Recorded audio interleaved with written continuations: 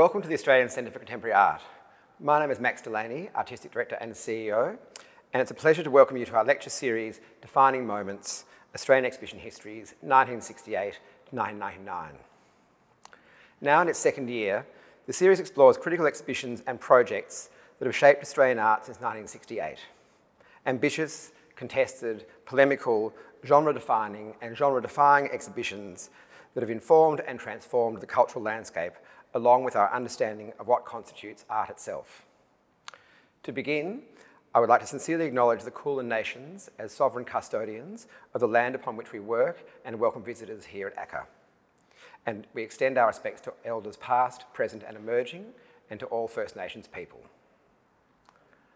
Defining Moments, Australian Exhibition Histories, traces the legacies of artists and curators, addresses the critical reception of significant selected projects, and reflects on a wide range of exhibitions and formats, from artist-run initiatives to new institutional models, as well as interventions in public space and remote communities. The first year of lectures are available as podcasts on ACCA's website. This year, in response to COVID-19, we are pleased to present the series as filmed illustrated lectures online with the second season continuing to explore new models and modes of exhibition making that emerged in the 1980s and 90s, including the Asia Pacific Triennial and 4A Centre for Contemporary Asian Art, as well as exhibitions and projects led by First Nations artists and curators in Australia and internationally, among others. Defining Moments is presented in association with our long-standing partner Abercrombie and Kent and research partner the Centre of Visual Art, COVA, at the University of Melbourne. It is supported by our media partners, Art Guide Australia, the Saturday Paper, and Triple R, and our event partners, the Melbourne Gin Company, Cappy, and the City of Melbourne, all of whom we sincerely thank and acknowledge. For our third lecture in this series, we're delighted to welcome Djon Mundine OAM to reflect on the Aboriginal Memorial, first presented at the Biennale of Sydney in 1988 and now regarded as one of the most significant works in Australian art history. The Aboriginal Memorial was conceived in the 1980s in the lead up to the so-called Australian Bicentenary in 1988, which marked 200 years since the arrival of the first fleet of British convict ships at Sydney in 1788. A time of tension and conflict, the official bicentenary celebrations triggered considerable debate and demonstration in Australia, particularly related to Aboriginal rights, national identity, and the interpretation and memorialisation of Australian history, colonial invasion, and Aboriginal resistance in the frontier wars. We are honoured to welcome independent curator, writer and activist Djon Mundine, a member of the Bandjalung people of North New South Wales, who was centrally involved in the conception of the memorial to reflect on its development, the cultural and political context of its realisation, and its subsequent permanent installation in the National Gallery of Australia in Canberra. Please join me in welcoming Djon Mundine.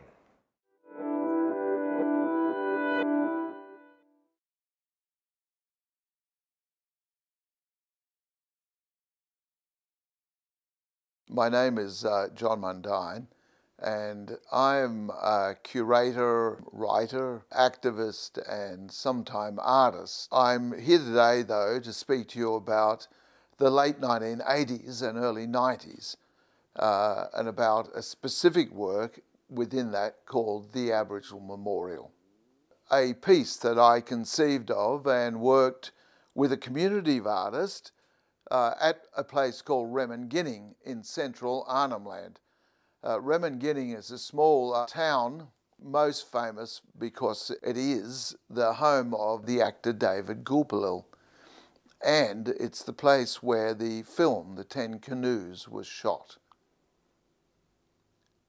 In the late 1980s, a number of things very specific to non-Western European people's art uh, was uh, a, a, topic of discussion, not only in Australia, but partly because of uh, what happened overseas that influenced uh, Australians to think differently.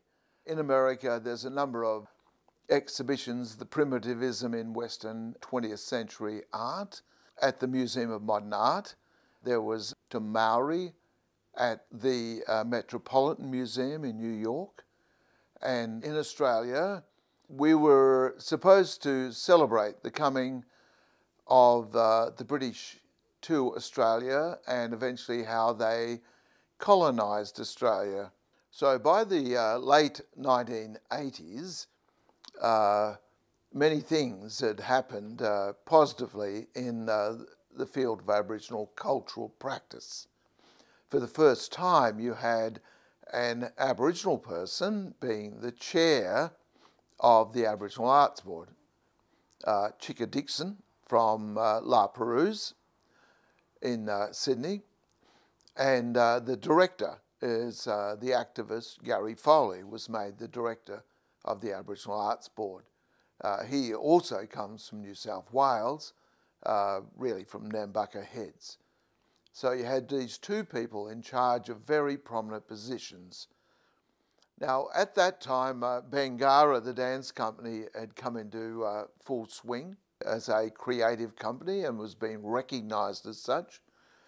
Uh, you had uh, a group of Western art school trained Aboriginal artists from the southeast of the country, and they uh, came together to form Boomalli, uh, Aboriginal Artist Cooperative. Rather than be denied access uh, in other places, in biennales, in, in commercial galleries, they decided that they would lease their own space and start to curate their own shows in inner city Sydney, in Chippendale, in the late 1980s. In the north, the Aboriginal art centres in regional Aboriginal communities had fought off a, a uh, reduction in their funding uh, from the Commonwealth Government. And they were successful in that they employed a uh, doctor of economic, Aboriginal economics called Dr. John Altman, who concluded the Altman report that convinced the government not to cancel that money. And so they'd fought that off as well. So there's lots of activity, lots of discussion amongst Aboriginal artists, and, uh, and lots of uh, promotion and acceptance of Aboriginal art. For instance, the Perspecta exhibition now included Aboriginal art just as a matter of course, as part of the contemporary art movement within Australia. As 1988 approached, uh, and this uh, celebration called the Bicentenary, the 200 years since this fleet of convicts and, and their guards has arrived in uh, what is now called Sydney Harbour to set up a colony, uh, there was a political movement against that. Lots of Aboriginal artists and Aboriginal people uh, in the cultural field, and lots of non Aboriginal people were boycotting the bicentenary celebrations. Many white Australian artists, in fact, had uh, withdrawn their works from bicentennial shows, uh, as well as Aboriginal artists. As a commercial enterprise uh, in Ramingining, which was set up to ensure uh, returns to artists, some of the most uh, economically deprived people in Australia, any boycott decisions uh, would have strong economic consequences. The problem was for me was to present Aboriginal culture without celebrating the bicentennial event. Historically, all Aboriginal art expression is personal and political in nature, as well as event orientated. So the White Australian 1988 bicentenary celebrations presented just such an important ideal opportunity. I was approached by the director of the Sydney Biennale for that year, Nicholas Waterlow, to do something about truth and justice in regard to Aboriginal people. So I had an idea in the back of my head. Uh, this is two years out from the Biennale to make a forest of burial poles, an artistic forest, a metaphorical forest. But because these uh, burial poles uh, in ceremony contain the bones of deceased people, uh, in ceremony and ritual, uh, this would also be like a forest of coffins. And a forest of coffins is like an Aboriginal memorial to all the Aboriginal people who died defending their country since 1788. In northeastern Arnhem Land, present day Aboriginal people carry on many age old ceremonies and rituals even today. One of these is the hollow log or bone coffin ceremony. When a person dies, the body is washed, painted with relevant totemic designs of their soul, sung over, and mourned. Now, sometime later, the bones of the deceased are recovered. They're normally uh, placed, uh, wrapped up, and placed in a tree, on a tree platform, or they may be buried. So many years uh, later, the bones of the deceased are, are recovered and distributed to relatives in a special ceremony. Following a period, which may be years, the relatives hand over the bones to ceremonial leaders for them to hold what's called a bone coffin ceremony. A log that's been hollowed out naturally by termites is found. It's cleaned and painted with uh, the same body relevant clan designs like the body, amidst uh, singing and dancing in a special camp uh, for those uh, completing the ritual away from the public domain. The bones are cleaned, painted with red ochre, and placed in the hollow log in a, in a group of special dances. When a set series of songs and dances have been uh, completed, the log is carried and danced into the main public camp the last song of that cycle is Running Water, where the body, the pole with the bones, is carried along through running water. It's then uh, carried into the main camp, into the public space, and stood upright. It's then left to decompose and return to the environment. Now, in the Aboriginal cultural life historically or traditionally, all Aboriginal art is made really in a ritual or a performance process. It was about the coming together of uh, groups of uh, people, related people, across ages and genders, who were related in a structural way to each other to come together to sing and dance and create visual art pieces and performance spaces uh, over a period of days and nights. And uh, the planning of those performances and the collecting of people to play the parts in those performances may actually take years to bring to fruition. Certain people would dance for uh, would dance for other people's songs. Certain people would uh, paint uh, other people's bodies. You're in a very specific connection to the people you paint. Uh, it's not everyone, no matter what the culture is, the, that you allow someone else to have that intimate relationship of touching your body, to paint your body. So, what happens is these people come together to paint, sing, dance, and venerate or sing to God, really, over days and nights. But the idea of it uh, of this, the concept around it was to reinforce their relationships to each other. As I said, certain people dance for other people's songs, very specific songs and specific related dances, or imagery that was painted on their bodies for that time. It was to reaffirm their relationship to each other. It was to re- reaffirm their relationship to the society that they belonged to. It was to bond and reinforce the generational bond.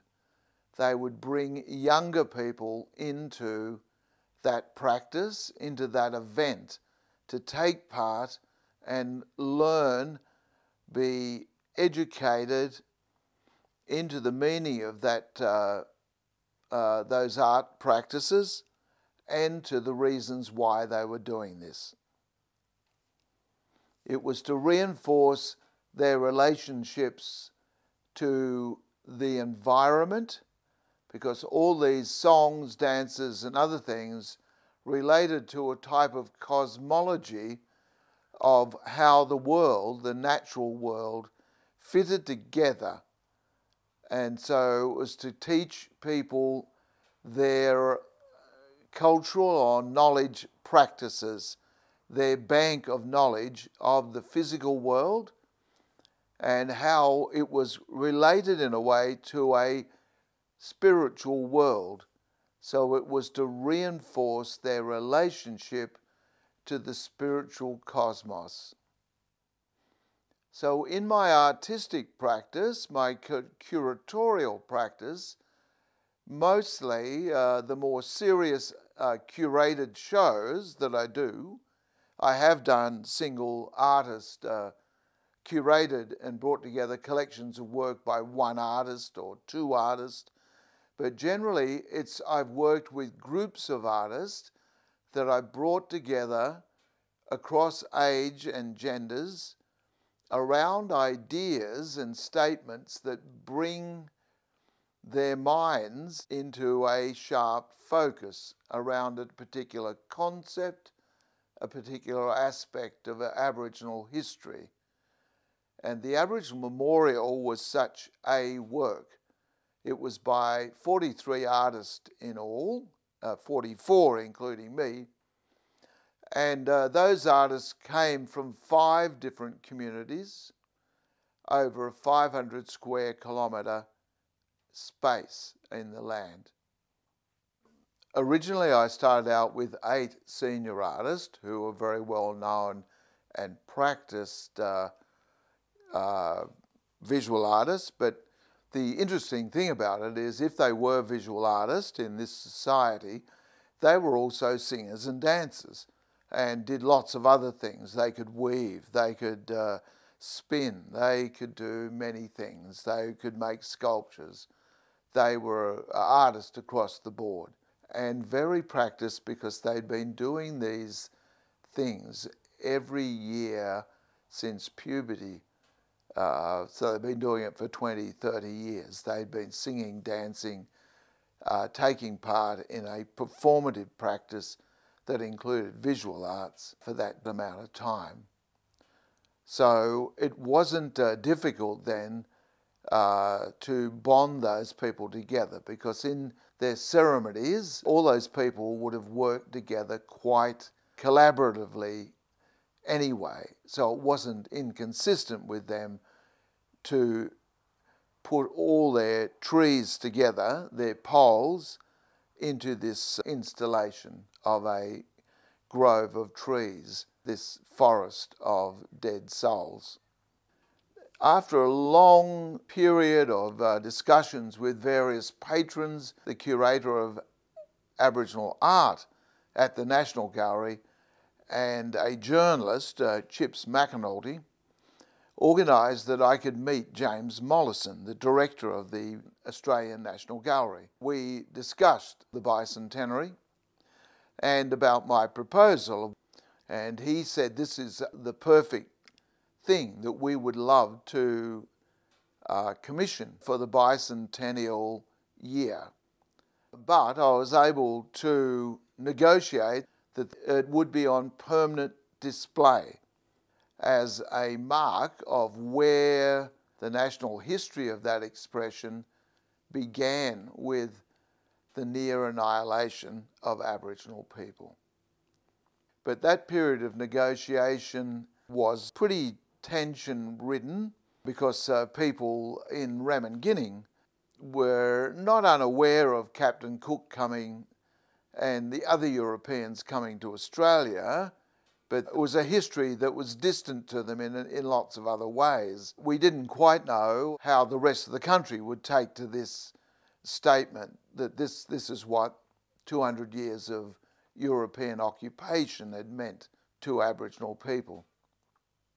When the time came in, uh, in the middle of 1988 to wrap and ship the poles, the floors of uh, the small tin shed serving as the art centre almost threatened to collapse under the weight. The National Gallery of Australia curators, uh, Wally Caruana and Gary Lee, came north to check our progress and they assisted with the packing. After a mammoth effort over several days with the help of local artists Roy Barunula, Charlie Jutta, Lawrence Leslie from uh, Moree, and Barry Jariang. The bulk were wrapped uh, in uh, bubble plastic, paper, and uh, tar paper to protect them against uh, rain, etc. They were loaded on the town tip truck, the biggest vehicle in, in the district, to be driven to the coast, where a barge took the bulk of them to Darwin. From there, the Biennale uh, had uh, arranged that they were backloaded in the luggage compartments and trailers of tourist buses that uh, got them to Sydney. Another smaller group were uh, arranged to go in uh, a number, small number of charter aircraft that uh, then met uh, this group from the barge. In that time, uh, they'd started to use the Pier 2 3. It had become vacant, but it's a very great venue just adjacent to the city, so it's a very convenient uh, site. It's got high ceilings, it's large and wide, etc. It's a great venue, and it's got a, the backdrop it's of the harbour, you know, which is what Sydney's famous for. The environment. If you want to get the spirit of Sydney, that's uh, that's certainly when you look out those doors and you see the harbour all around you. You're covered in three sides by the harbour. So uh, that was uh, where this was going to be installed. We were offered the very end, uh, the end of the wharf. So when you came into the wharf, you could look down, and at the end of the wharf, you'd see in the distance the Aboriginal memorial, these trees. After installing the work uh, at the uh, Pier 23 Bond Stores venue of the Biennale of Sydney, with the assistance of young Aboriginal artists and non Aboriginal artists, including Fiona Foley and Govern Duncan, artist David Malangi, his son Johnny Durakayu, Paddy Lilipiana, and Paddy Waibarunga sang to concentrate the space in the opening night. The actual installation was around uh, the shape of uh, the river that ran down uh, near Ramingining, and all the uh, different artists uh, representing each their family groups, their clan groups, and totemic groups, uh, environmentally totemic groups, were also arranged around east and west around that river pathway. So uh, I brought a group of uh, only men this time, uh, because mainly because of budgetary considerations. Uh, we brought them down, and they sang and walked through the the pathway to uh, consecrate it, so to speak. Director Nick Waterlow described the work in his catalogue essay as the single most important piece in the exhibition. The work was seen as important to Aboriginal people too.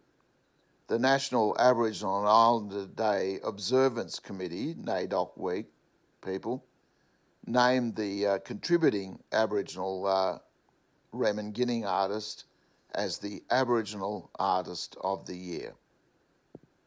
The 1980s were certainly important times because people started to really crystallise a lot of ideas that were thrown around in the 60s and 70s to do with Australian cultural life, Australian intellectual life, and about positions of Aboriginal of Aboriginal people.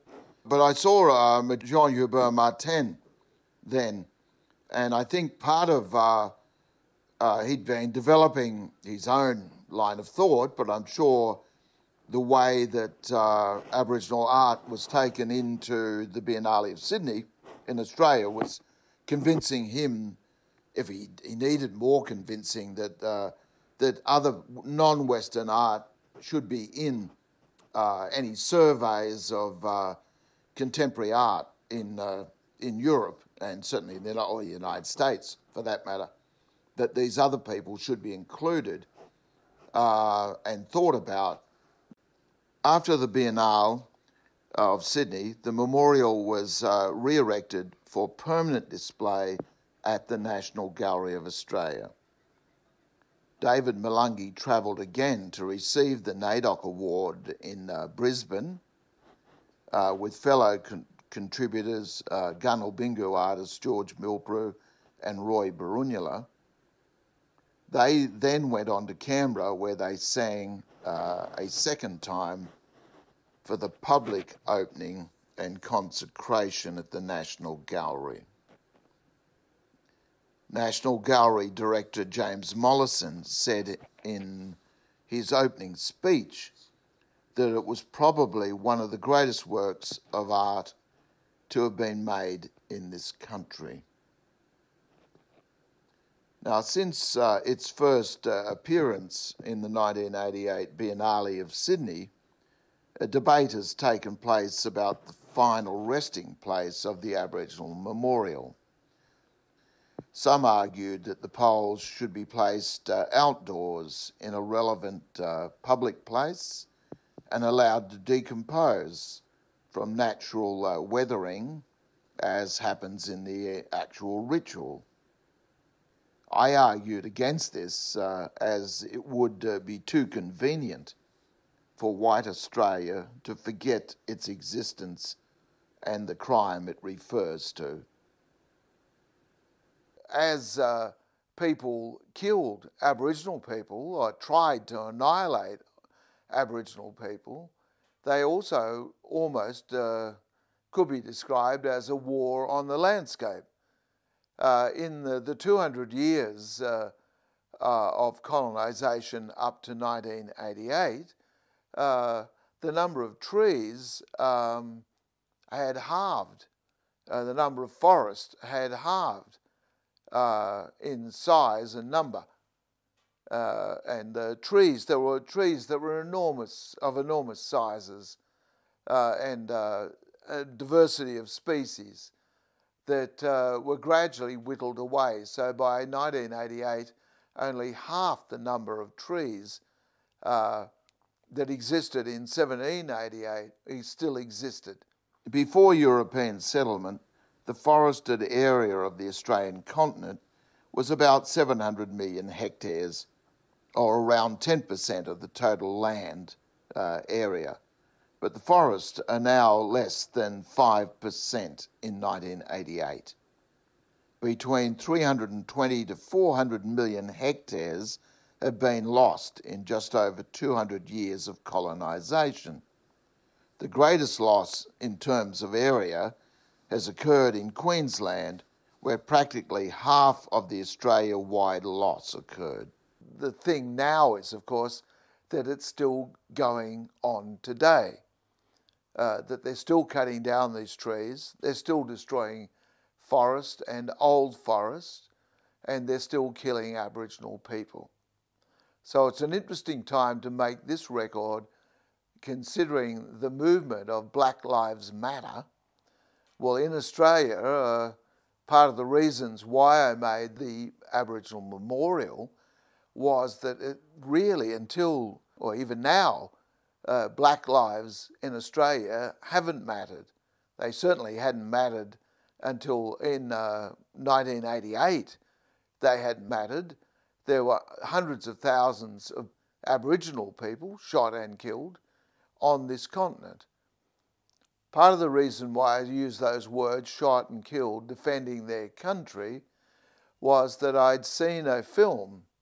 An artist uh, brought me a film in the mid 18 uh, mid 1980s. Uh, a man who was really like my mentor, a really uh, incredible human being uh, who was a major ceremonial leader, a major, major cultural leader within that whole Eastern Arnhem Land district. And his uh, son had been uh, a member of the Northern Lands Council and uh, was given these cassettes, these video cassettes to watch as uh, part of uh, his briefing for meetings. And one of those videos that uh, he brought to show me was a film by John Pilger called The Secret Country. John Pilger, of course, is a great advocate for the rights of Aboriginal people. John Pilger described how his family had a house up on the Hawkesbury and how he'd come to realise there were Aboriginal people that were there. He'd found Aboriginal art in the cliff faces and in the caves around the Hawkesbury. And later in life, he came to realise that, in fact, a great war had taken place and those people that were there died, as he described, defending their country. And that's what uh, really inspired me to then focus on making this memorial. That there were very few uh, Aboriginal memorials in a land that's full of memorials. Every little country town has a memorial to non Aboriginal Australians mainly who died fighting in a colonial war in Europe or defending colonies, the empire, defending the empire in other parts of the world. I didn't know at that time of an Aboriginal memorial to us, to our people who died defending our country. In my own land, the Bandjalung people's land of the northern rivers of New South Wales, there were massacres around Grafton and the Clarence River. There were hundreds of people killed in a number of those massacres where the bodies floated down the river past Grafton for days. There were massacres in Ballina. There is a memorial there. There's a monument that has been erected there to the killing of those people. The interesting thing was that these massacres were recounted in the local newspapers of the 1800s, where older colonists would talk about how they killed this number of people.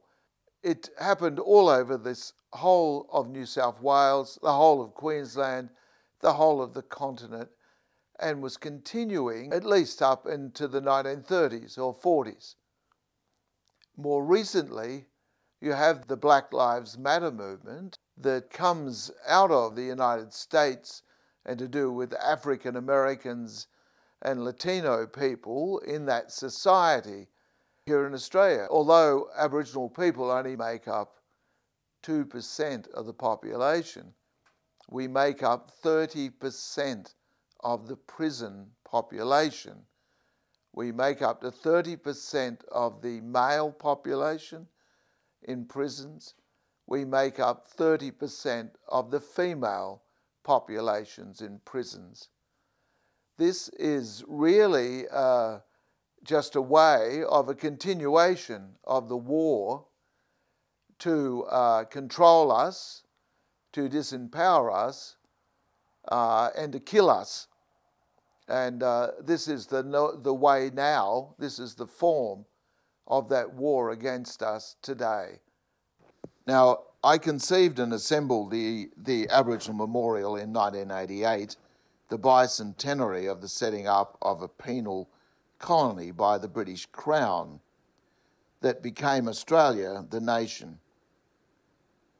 In 2020, Australia marks the 250th anniversary of Cook's first arrival that is so revered uh, as uh, defining the nation, we are told. Throughout my own life as an Aboriginal person, It appears to me that around uh, every generation, Australians strive for absolution in regard to the nation's crimes against Aboriginal people. Yet on each occasion, as they approach the historic moral moment, inexplicably they fall back and recoil, almost in terror, at the implication that they could be held responsible. An Australian term, the never never. And so the denial continues, and Australians wonder why, in many parts of the world, they are considered racist, they are considered unintelligent, they are considered uncaring and inhuman brutes. A simple but powerful step is to make the conceptual leap to be honest about the past.